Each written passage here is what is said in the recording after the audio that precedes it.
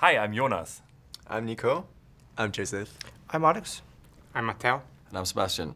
Together we are xbird and we are saving lives by analyzing data from mobile phones and wearables.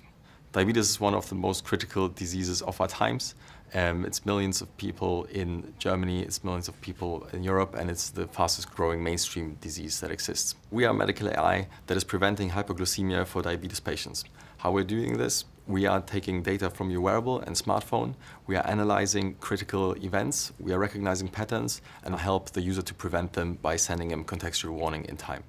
We are supporting patients by providing them with an alert system for their disease. So we automatically detect patterns that they are not aware of and help them to react in time. Really looking forward to work with the Bayer programs to get help for clinical trials. This is something that Bayer has over 150 years experience of and to help spread the solution over the world.